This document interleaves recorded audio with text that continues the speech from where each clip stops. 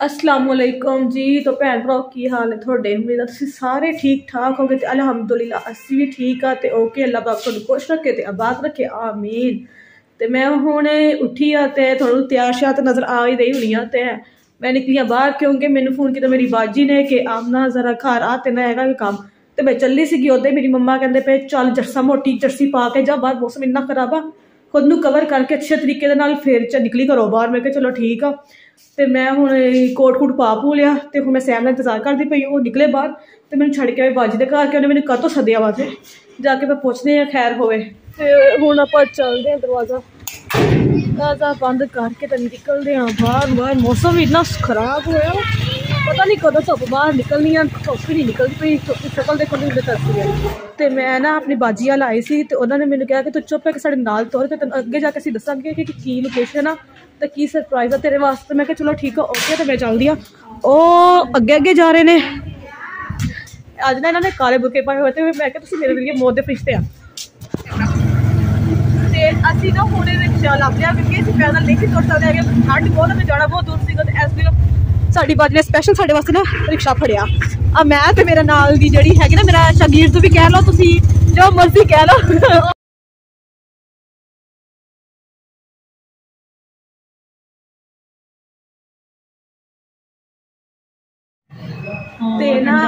ਇਹ ਮੇਰੇ ਬਾਜੀ ਜਿਹੜੇ ਨਾ ਮੈਨੂੰ ਲੈ ਕੇ ਆਏ ਰਹੇ ਕੈਫੇ ਤੇ ਠੀਕ ਆ ਤਾਂ ਕੈਫੇ ਤੇ ਆ ਗਏ। ਮੈਂ ਮੇਰੀ ਬਾਜੀ ਕੌਣ ਸੀ ਡਿਸਾਈਡ ਕਰਨੀ ਹੈ?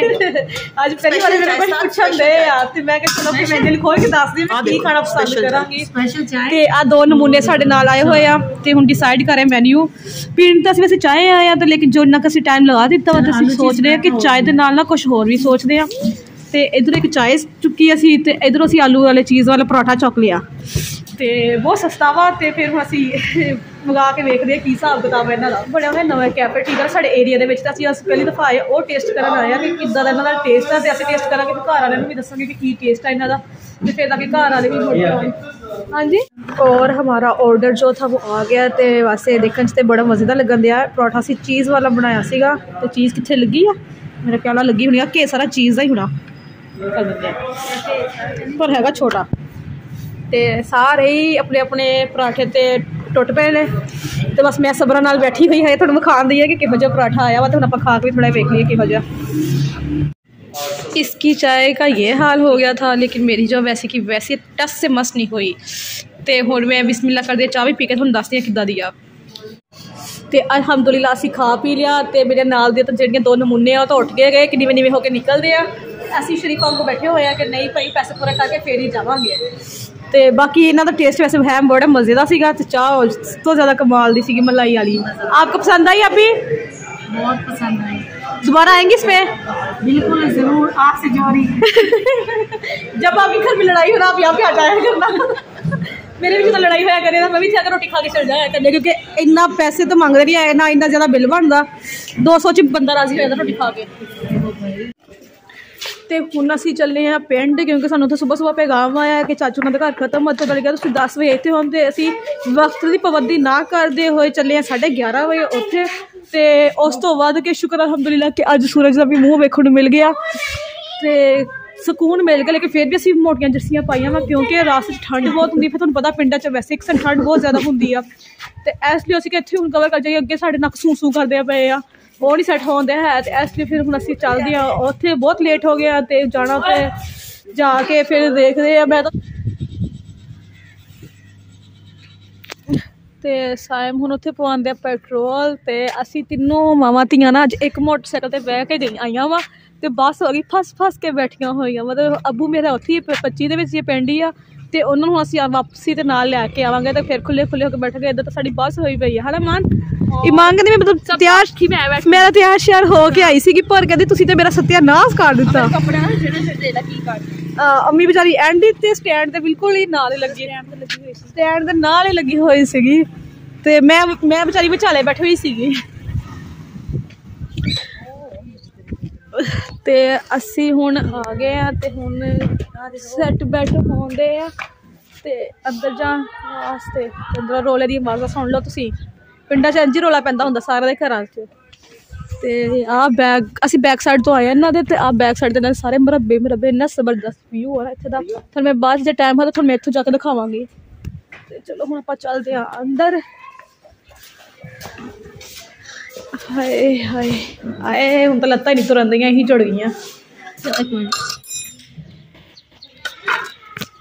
ਪਤਾ ਸਾਡੇ ਨਾਲ ਇੰਨੀ ਭੈੜੀ ਹੋਈ ਆ, ਜਦੋਂ ਅਸੀਂ ਆਇਆ ਤੇ ਇਹਨਾਂ ਨੇ ਨਾ ਟਾਈਮ ਨਾਲ ਹੀ ਖਤਮ ਖਤਮ ਦਵਾ ਕੇ ਨਾ ਸਾਰਾ ਕੁਝ ਭਾਂਡੇ ਵਿਚਾਰੀਆਂ ਨੂੰ ਧੋਣ ਦਈਆਂ ਵਾ। ਤੇ ਅਸੀਂ ਤੇ ਆਪਣੇ ਉਹ ਸਹੀ ਟਾਈਮ ਤੇ ਐਸਕੇ ਕੰਮ ਨਾ ਲੇਟ ਹੀ ਆ, ਪਰ ਇਹਨਾਂ ਨੇ ਨਾ ਤੁਹਾਨੂੰ ਪਤਾ ਕਿ ਪਿੰਡਾਂ 'ਚ ਨਾ ਜਲਦੀ ਕੰਮ ਸਰਦੀ ਹੁੰਦੀ ਹੈ ਧੁੱਪ ਨਿਕਲਦੀ ਨਹੀਂ ਹੈਗੀ ਤੇ ਲੇਕਿਨ ਅੱਜ ਜਦੋਂ ਵਿਚਾਰੇ ਨੇ ਕੰਮ ਕਰ ਲਿਆ ਤੇ ਧੁੱਪ ਨਿਕਲੇ ਹੀ ਮੁੜ ਕੇ ਤੇ ਮੈਂ ਕਹਿੰਦੀ ਵੀ ਹੁਣ ਤੁਸੀਂ ਦੁਬਾਰਾ ਕਰ ਲਓ। ਤੇ ਵਿਚਾਰੇ ਨੇ ਹੁਣ ਆ ਬਰਤਨ ਵਗੈਰਾ ਸਾਰੇ ਜਿਹੜੇ ਆ, ਇਹ ਧੋਂਦੇ ਆ ਤੇ ਮੈਂ ਤਾਂ ਰੋਟੀ ਖਾਣੀ ਆ, ਤੁਹਾਨੂੰ ਪਤਾ ਵੀ ਭੁੱਖ ਨਹੀਂ ਲੱਗੀ ਹੋਈ ਆ, ਤੂੰ ਆਪਾਂ ਤੇ ਸੈਮ ਆਪਣੀ ਬਿੱਲੀ ਘਰ ਛੱਡ ਗਿਆ ਤੇ ਸੈਮ ਇੱਥੇ ਵੀ ਆ ਕੇ ਇੱਕ ਬਿੱਲੀ ਲੱਭ ਗਈ ਆ। ਇਹਨਾਂ ਦੀ ਨਾ ਵਾਈਟ ਬਿੱਲੀ ਆ। ਵਾਈਟ ਬਿੱਲੀ ਤੇ ਬਲੂ ਆਈਜ਼ ਆ ਇੰਨੀ ਪਿਆਰੀ ਹੈ ਮਾਂ। ਅੱਖਾਂ ਤੇ ਦਿਖਾ ਦੇ। ਛੱਡ ਜਾ ਆਪ ਹੀ ਦਿਖਾਉਗੀ ਤੇ ਦੇਖ ਲੈ। ਓਏ ਮਿਆਓ। ਹਾਂਜੀ। ਤੇ ਮੈਨੂੰ ਆਰਡਰ ਮਿਲ ਗਿਆ ਕਹਿੰਦੇ ਨਾਖੂਨ ਕੱਢੇ ਮੈਂ ਆਪਣੀ ਬਿੱਲੀ ਦਾ ਨਾਖੂਨ ਨਾ ਤੁਹਾਨੂੰ ਪਤਾ ਹਰ ਟਾਈਮ ਕੱਟ ਕੇ ਰੱਖਦੀ ਆ। ਤੇ ਆਹ ਦੇਖੋ ਮਾਸ਼ਾਅੱਲਾ ਇਹਦਾ ਨਾਖੂਨ। ਇੰਜ ਤਾਂ ਸਾਡੇ ਨਹੀਂ ਨਾਖੂਨ ਜਿੱਦਾਂ ਇਹਦੇ ਆ। ਕੱਢ ਬਾਹਰ ਇਹਨਾਂ ਨੂੰ। ਉਹ ਆ ਦੇ। ਦੰਦੀਆਂ ਨਾਲ ਹੀ- ਨਾਲ ਹੀ ਦੰਦੀਆਂ ਵੜਦੀਆਂ ਤੈਨੂੰ ਸ਼ਰਮ ਨਹੀਂ ਆਉਂਦੀ ਐ? ਦੰਦੀਆਂ ਵੜਦੀਆਂ। ਲੇਟ ਆਏ ਆ ਫਿਰ ਵੀ ਚੋਲ ਲੱਭ ਗਏ ਸਾਨੂੰ। ਖਾਣਾ ਸ਼ੁਰੂ ਕਰ ਬਸ। ਤੇ ਇਹਨਾਂ ਨੇ ਨਾ ਖਾਣਾ ਸ਼ੁਰੂ ਕਰਤੇ ਆ। ਹਾਂ ਇਹਨੂੰ ਬਹੁਤੀ ਭੁੱਖ ਲੱਗੀ ਹੋਈ ਸੀ ਤੇ ਗਰਮ ਗਰਮ ਐ। ਸਬਰ ਵਾਲਾ ਬੰਦਾ ਵਾ। ਹਾਂ। ਤੇ ਮੈਂ ਇਸ ਲਈ ਤਸੱਲੀ ਨਾਲ ਬਹਿ ਕੇ ਖਾਵਾਂਗੇ। ਤੇ ਚਲੋ ਅਸੀਂ ਫਾਰਗ ਹੋ ਗਏ, ਖਾਣਾ ਖੁਣਾ ਖਾ ਲਿਆ, ਚਾਹ ਵੀ ਪੀ ਲਈ, ਗੱਪਸ਼ਪ ਵੀ ਕਰ ਲਈ, ਜੋ ਵੀ ਸੀਗਾ ਸਾਰਾ ਕੁਝ ਕਰ ਲਿਆ ਤੇ ਹੁਣ ਅਸੀਂ ਜਾ ਰਹੇ ਆਪਣੇ ਦਾਦਕਿਆਂ ਦੇ ਘਰ। ਠੀਕ ਆ, ਤੇ ਇੱਥੇ ਲਾਗੇ ਲੱਗ ਗਈ ਹੈ ਤੇ ਅਸੀਂ ਗਲੀ ਬਸ ਮੋੜ ਕੇ ਮੈਂ ਦਾਦਕੇ ਦੇ ਘਰ ਆਇਆ ਤੇ ਆਹ ਦੋ ਬੰਦੇ ਅੱਗੇ ਅੱਗੇ ਜਾ ਰਹੇ ਆ। ਸੈਮ ਪਿਛਲੀ ਸਾਈਡ ਤੋਂ ਅੱਗੇ ਜਾ ਰਿਹਾ ਉਹ ਕਹਿੰਦਾ ਸੀ, ਮੈਂ ਆਪੇ ਚੱਲ ਜਾਊਂਗਾ, ਤੁਸੀਂ ਪੈਦਲ ਚੱਲ ਜਾਓ। ਤੇ ਮੈਂ ਹੌਲੀ ਹੌਲੀ ਪਿੱਛੇ ਜਾਣ ਦੀ ਤੁਰ ਨਹੀਂ ਹੋਣ ਦਿਆ ਹੈਗਾ। ਤੇ ਹੁਣ ਚੱਲਨੇ ਆ ਦਾਦਕਿਆਂ ਦੇ ਘਰ ਤੇ ਇਮਾਨ ਨੇ ਆਪਣੇ ਹਿੱਸੇ ਦੇ ਚੌਲ ਵੀ ਮੰਗ ਲਏ ਕਹਿੰਦੀ ਕਿ ਮੈਂ ਥੋੜੇ ਖਾਦੇ ਮੈਨੂੰ ਸ਼ਰਮ ਆਉਂਦੀ ਸੀ ਉਹਦੇ ਖਾਂਦੀ ਹੋਈ ਨੂੰ ਤੇ ਮੇਰੇ ਨਾਲ ਪਾ ਕੇ ਦੇ ਦੋ ਤੇ ਮੈਂ ਜਾ ਕੇ ਨਾ ਉੱਥੇ ਖਾ ਲਾਂਗੀ। ਮੇਰੇ ਤੋਂ ਪਹਿਲਾਂ ਤੂੰ ਮੰਗੇ ਸੀ ਤੂੰ ਬਹੁਤੀ ਭੁੱਖੀ ਹੈ ਮੈਂ ਇੱਧਰ ਇੱਧਰ ਕਰਦੀ ਮੇਰੇ ਵੀਵਰਸ ਨੂੰ ਪਤਾ ਕਿ ਕੌਣ ਬਹੁਤਾ ਭੁੱਖਾ ਵਾ। ਤੂੰ ਉਹਨਾਂ ਨੇ ਪਤਾ ਕਿ ਤੂੰ ਬਹੁਤੀ ਆ। ਉਹਨੂੰ ਪਤਾ ਨਾ ਮੈਂ ਬਿਲਕੁਲ ਨਹੀਂ ਹੈਗੀ ਮੈਂ ਮੂੰਹੋਂ ਨਹੀਂ ਸ਼ੈ ਮੰਗਦੀ ਹੁੰਦੀ ਹੈ। ਬਸ ਮੈਂ ਨੀ ਸਾਹਮਣੇ ਨਹੀਂ ਨਹੀਂ ਸਮਝ ਕਰ ਮੈਂ ਸ਼ਕਲ ਹੀ ਇੰਜ ਦੀ ਬਣਾਉਂਦੀ ਨੀਤ ਹੀ ਇੰਜ ਦੀ ਕਰ ਲੈਣੀ ਹੁੰਦੀ ਅਗਲੇ ਆਪੇ ਸੋਚ ਕੇ ਪਾ ਦਿੰਦੇ ਨੇ। ਆ ਜੁਗਾਲੀ ਕਰਨ ਦਿਆ। ਤੇ ਮੈਂ ਨੰਗਣ ਦੇ ਸੀ ਕਿ ਮੈਨੂੰ ਆ ਗਿਆ ਮੰਜਾ ਨਜ਼ਰ ਐਡਾ ਵੱਡਾ ਤੇ ਮੈਂ ਕਿਹਾ ਚੱਲਾਂ ਮੈਂ ਤੁਰਨ ਮੈਂ ਵੀ ਇੱਥੇ ਬਹਿ ਕੇ ਵੇਖਾਂਗੀ ਕਿੱਦਾਂ ਦਾ ਵਾ। ਹਾਂ ਮਜ਼ੇਦਾਰ ਹਨਾ? ਹਾਂ ਸੋਹਣਾ ਮੰਜਾ ਕਿੰਨਾ ਵੱਡਾ ਚਾਰ ਸਾਡੇ ਘਰ ਦੇ 6 ਦੇ 6 ਬੰਦੇ। 6 ਦੇ 6 ਬੰਦੇ ਇਸ ਮੰਜੇ ਤੇ ਆ ਸਕਦੇ ਹਨਾ ਮਾਨ? ਹੋਰ ਚੰਗੇ ਭਲੇ? ਹਾਂ ਦੇਖ ਲੈ ਵੱਡਾ- ਏਦਾਂ ਦੀ ਮੰਜਾ ਇੱਕ ਘਰ ਹੋਣਾ ਚਾਹੀਦਾ ਹਰ ਘਰ 'ਚ ਇਦਾਂ ਦਾ ਮੰਜਾ ਹੋਣਾ ਚਾਹੀਦਾ ਲੇਕਿਨ ਪਿੰਡਾਂ 'ਚ ਤਾਂ ਲਾਜ਼ਮੀ ਇਦਾਂ ਦੇ ਮੰਜੇ ਲੱਭ ਜਾਂਦੇ ਕਿਸੇ ਨਾ ਕਿਸੇ ਥੜੇ ਤੇ ਪਏ ਹੁੰਦੇ ਆ। ਤੇ ਸਾਡਾ ਘਰ ਆ ਗਿਆ ਤੇ ਤੁਹਾਨੂੰ ਪਤਾ ਹੀ ਆ ਕਿ ਸਾਡਾ ਵਾ ਜਦੋਂ ਅਸੀਂ ਘਰ ਜਾਣ ਜਾਣਾ ਹੁੰਦਾ ਮੈਂ ਇੱਥੇ ਕੈਮਰਾ ਔਨ ਨਹੀਂ ਕਰਦੀ ਹੈਗੀ, ਉਹਦੀ ਵੀ ਇੱਕ ਰੀਜ਼ਨ ਆ। ਉਹ ਤੁਹਾਨੂੰ ਫੇਰ ਕਦੇ ਦੱਸਾਂਗੀ ਤੇ ਹੁਣ ਆਪਾਂ ਇੱਥੇ ਜਾ ਕੇ ਥੋੜਾ ਬਹੁਤ ਜ- ਬੈਠਾਂਗੇ, ਗੱਲਾਂ ਬਾਤਾਂ ਕਰਾਂਗੇ ਤੇ ਮਿਲਾਂਗੇ। ਉਸ ਤੋਂ ਬਾਅਦ ਫਿਰ ਜਾਵਾਂਗੇ ਘਰ ਤੇ ਫਿਰ ਆਪਣੀ ਅਗਲੀ ਮੁਲਾਕਾਤ ਹੋਗੀ ਇਨਸ਼ਾਅੱਲਾ ਘਰ। ਐਡੀ ਹੈਗੀ ਬਦਤਮੀਜ਼ ਇਹਨੂੰ ਪਤਾ ਕਿ ਦਰਵਾਜ਼ਾ ਖੁੱਲਣ ਲੱਗਾ, ਫੌਰਨ ਹੀ ਤਿਆਰ ਹੁੰਦੀ ਹੈ ਕਿ ਮੈਂ ਹੁਣ ਨਾ ਬਾਹਰ ਨਿਕਲਣਾ। ਚੱਲ ਬਾਂਦਰੀ। ਨਾ ਨਾ ਮੇਰੀ ਮਾਂ ਇਧਰ ਆ ਜਾ ਆ ਜਾ ਆ ਜਾ